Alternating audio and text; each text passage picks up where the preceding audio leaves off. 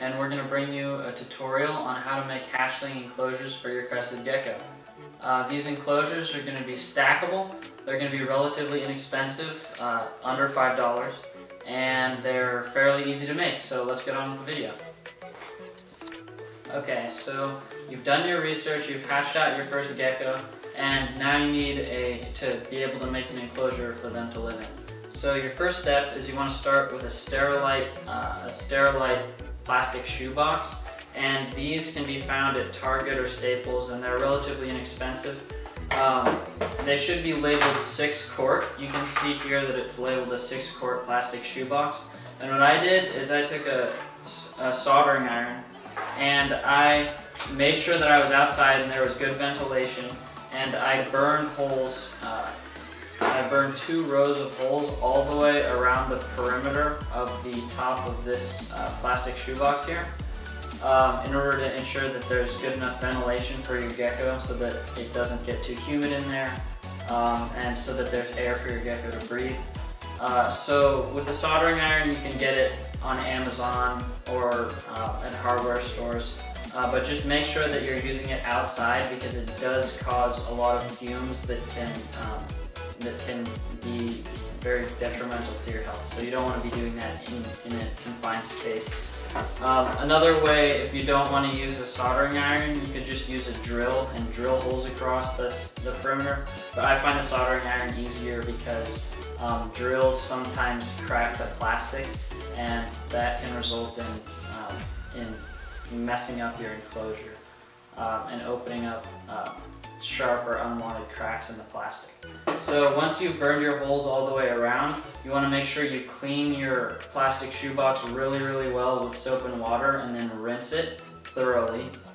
Um, and then your next step is to put in a substrate. So for hatchling crested geckos, we just use a single piece of paper towel and we fold it a little bit just so that it fits in the bottom of this uh, enclosure here.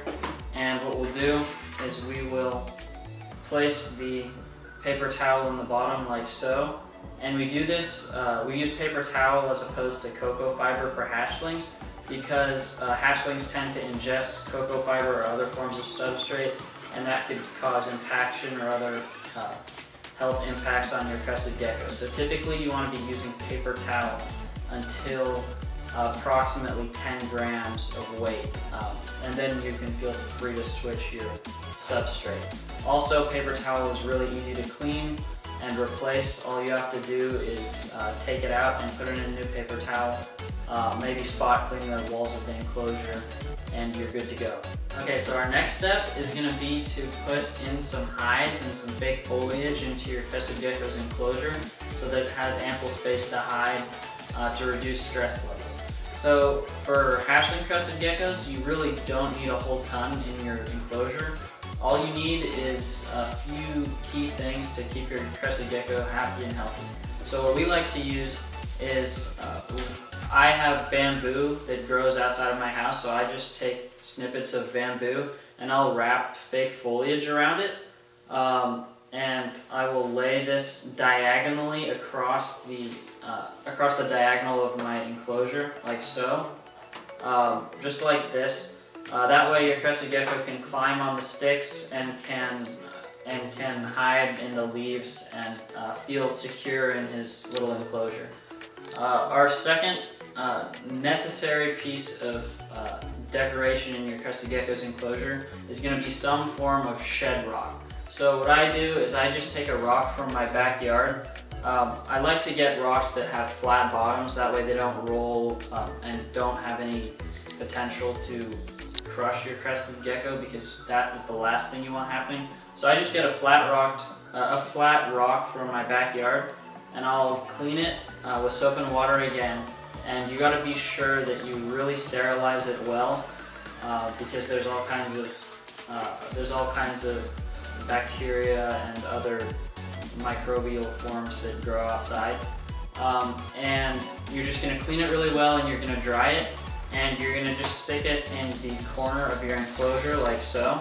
Okay, so your rock, your shed rock is gonna be necessary in order for your gecko to shed properly because at times young crested geckos can struggle to get off all the skin and if there's any stuck skin after a shed, uh, this can result in the loss of blood circulation, which could then uh, spiral into potential loss of a finger or a limb, and, or most commonly a tail. Uh, and whatever it is, you don't want any loss of circulation in your gecko. So just make sure you have a rock for your crested gecko to uh, rub on, or just some kind of abrasive surface that can help it shed uh, when it needs to. Um, then your next step is you're going to need food and water dishes. And considering that crested geckos really don't eat or drink all that much, all you're gonna need for your food dish is a plastic water bottle cap like this one. Um, and you can fill this with food uh, three times a week and just place it in your crested gecko enclosure like so. And don't be alarmed if you don't see uh, empty food dishes every night. Uh, crested geckos really do not eat very much at all. So the only way you're gonna know if your crested gecko is eating is one, if it spills food all over the place, which is also very common, or two, if you see poop around its enclosure. If you know that it's pooping, then you know that it's eating. So that's what we recommend to people who come to us in a panic because they think that their crested gecko isn't eating. So just make sure that you provide it with fresh food three times a week. We outline feeding uh, feeding instructions on our website, baygecko.com. So uh, to, you can look there to get more in-depth knowledge about uh, how to feed your crested gecko.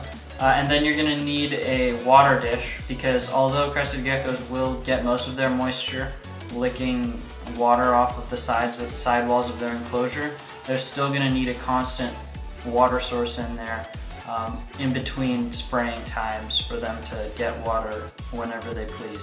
So for water dishes, we use a slightly bigger dish. Um, I just use a sports bottle cap for uh, hatchling crested geckos and I'll just fill that with water and place it right next to the food dish in the enclosure. Um, and this is pretty much all you're going to need for your crested gecko's uh, hatchling enclosure. And this enclosure should last until your gecko is about 8 to 10 grams, uh, at which point you should definitely switch to a larger enclosure. But this is pretty much everything you need um, in terms of uh, taking care of your crested gecko uh, until it reaches about 8 grams of weight. So now we're going to move on to the most exciting part, which is putting your crested gecko into its enclosure. So here's a little hatchling we got the other day out of Big Red and Scarlet, uh, one of our Phantom Red pairings. And this little guy's a Phantom Red Phantom pinstripe with some good white highlighting. So we're gonna go ahead and introduce him to his new enclosure. So this is always my favorite part of uh, constructing a hatchling enclosure, is getting to put the actual hatchling in the enclosure. So let's see if he wants to go in there. And our first step is going to be to spray it, give it a good little spray so that there's lots of moisture on the side of his enclosure.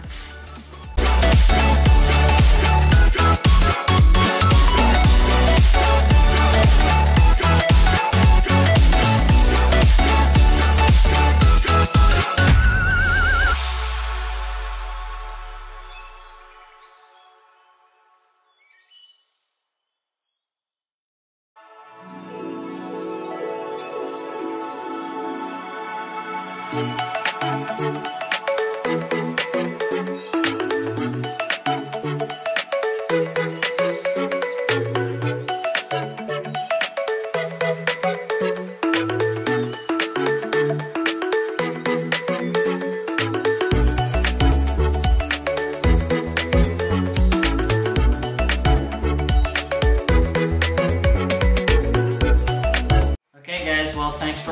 this video. This has been a tutorial on how to make a hatchling enclosure for your crested gecko. Um, we appreciate you guys following our videos and uh, I'm going to ask you guys to please like and subscribe below and keep a heads up for more videos from Bay Gecko. Uh, thanks and I'll see you guys later.